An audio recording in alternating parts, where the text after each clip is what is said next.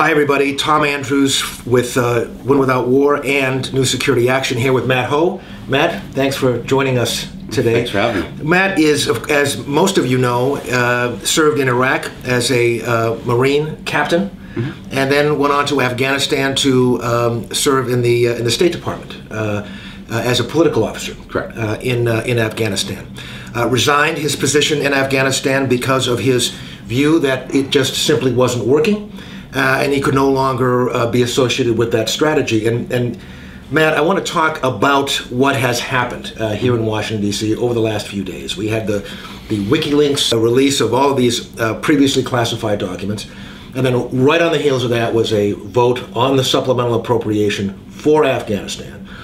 114 total votes against the supplemental. But what was noteworthy is that, at least in the Democratic caucus, it went from 32 opposing the supplemental last year to 102 uh, opposing the supplemental this year. But let's talk about some of the interesting uh, parts of that WikiLeaks uh, release. Mm-hmm. Uh, governance, for example. You had a civilian uh, uh, officer talking about the U.S. Civil Affairs Office uh, that deals with the insurgency. And, and, they, and they said this The people of Afghanistan keep losing their trust in the government because of the high amount of corrupted government officials. The general view of the Afghans is that the current government is worse than the Taliban. How can any counterinsurgency strategy prevail if uh, significant numbers of people believe the government is corrupt? So corrupt that they, even though they don't like the Taliban, they think the Taliban is better than the government you know, I, in that article or that, that that report, I think was from 2007, I right. believe. So that was three years ago. so right. this is not a, a, case of, of it, it's new or it, it, it's it's uh, uh, things have changed since then because they haven't. If anything, things have gotten worse. You hear more and more reports of uh, of people upset with the Afghan government because uh, because it's corrupt and because of the way it's structured. It's very centralized. So if you're not within that clique that governs it, yeah. you're outside of it. You're excluded from it. So you've got two issues with the government. It, it, it's it's incredibly corrupt, and it's uh, it's exclusive. Uh, it's composed of many most of the Afghans in the south and the east, where we're fighting, uh, who are fighting us, um, are doing so because of uh, they are fighting a, a, corrupt and unrepresentative government. Uh, they see themselves being intruded upon by outsiders. Uh, yes, there are other Afghans, but they're they're outsiders. They're, they're, they're not from those areas. And what this basically tells us, or basically shows to us, is that our, we're entangled in a civil war. It's somebody else's civil war. Afghanistan is it's very complex. It's divided upon uh, different ethnic and regional lines. But we're helping one side try and subjugate the other. So we've seen uh, the movement in Congress among Democrats go from 32 to 102. And then right after the vote happened, this is very interesting, the chairman of the subcommittee on defense, uh, Norm Dicks, who is in line to be the next chairman of the entire appropriations mm-hmm. committee if the Democrats uh, keep hold of the House.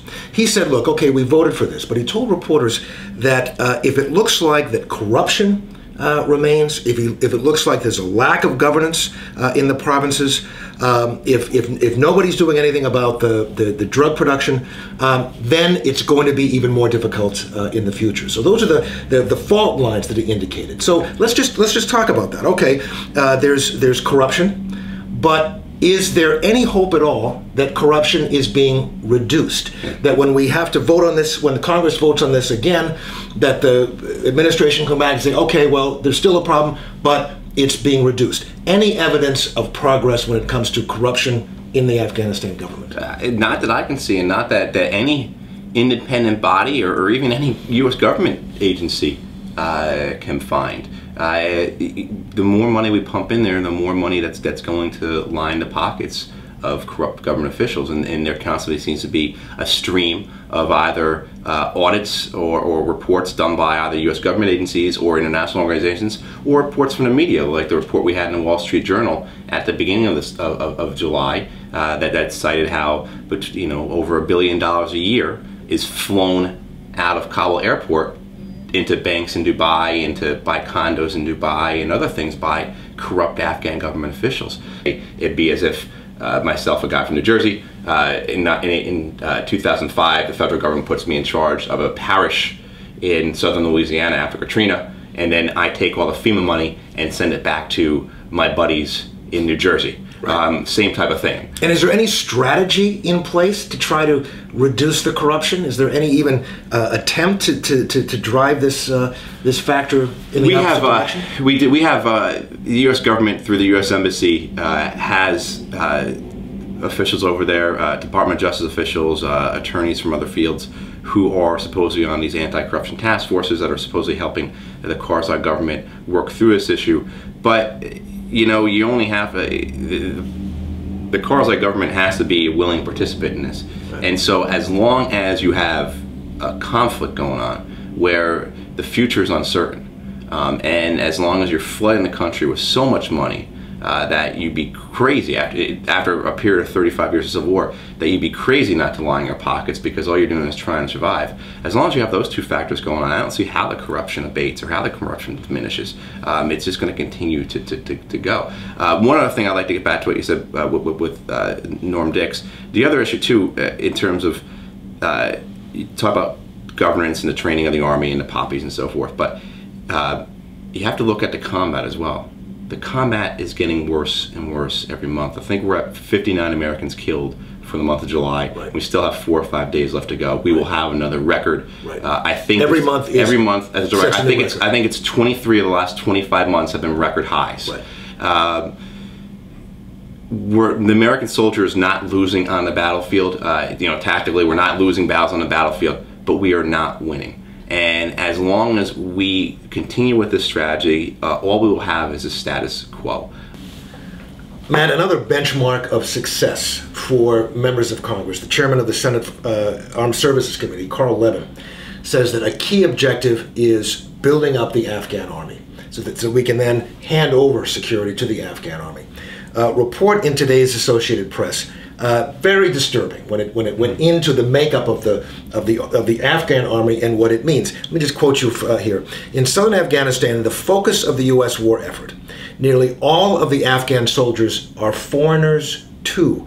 Most don't even speak the local language. They have to communicate through interpreters hired for the Americans. So what this is saying is that in the eyes of these uh, Afghans who live in the South, rural Pashtuns, um, the Afghan army is seen as much as a foreign occupying army as the American army. Mm-hmm. Is is this correct? That's absolutely correct. And you'd see that uh, I saw it both in the east and southern Afghanistan, where uh, the Afghan security forces and the Afghan central government as well uh, were seen as outsiders. Uh, cool. Same thing with the enlisted, because you can you can tell the difference between uh, those from the south and those from say the west and the east, uh, just in terms of facial hair. Uh, most of the southern Afghans, the real Pashtuns, will have beards, while many of the uh, Tajiks or Uzbeks or Hazaras or Pashtuns from the north and the west or from urban areas will be uh, I, will not have beards, will have mustaches or beards. So you can just see uh, see the differences. Plus the fact that they don't speak the same language,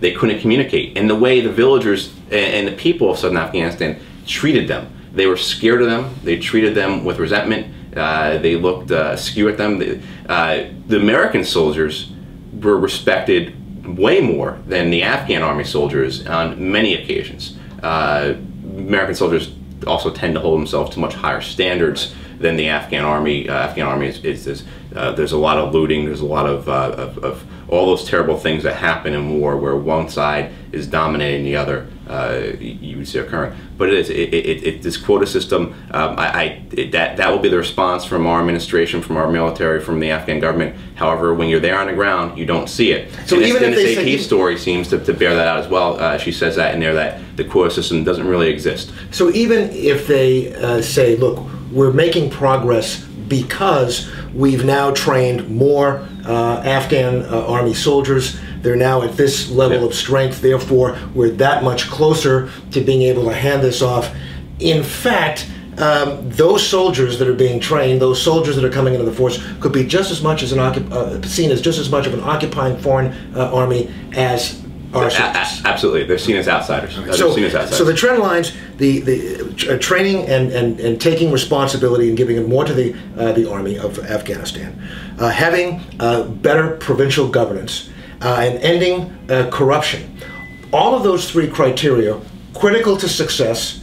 Uh, the trend lines are not going in the right direction. No, absolutely not. And, and I, I think if, if, if if, if, if, anyone who's watching this just wants to do some sim- simple Google term uh, searches and look up news articles for the last four or five years and get a sampling of it, you'll see it's the reporting has been consistent on this. It's not going well. It's been going it's been going poorly. We're not making progress. Uh, if you look at the number of troops we've sent and look at the amount of money we're spending, the United States has spent over $50 billion developing the security forces as well as developing Afghan government institutions and building roads, bridges, schools, doing vocational training.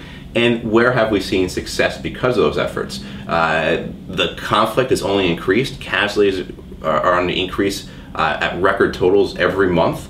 Uh, and the support for the central government in the South and the East is not bearing out.